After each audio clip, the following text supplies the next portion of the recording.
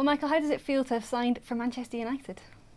Yeah, it feels great. Um, I mean, it was only a few days ago that, um, well, I never even had it in my wildest dreams, really. So when I got the call from, from the manager to uh, to uh, to come around and, and meet him, it was a it was a shock, but you know, obviously really happy, and um, everything's moved so quickly from then.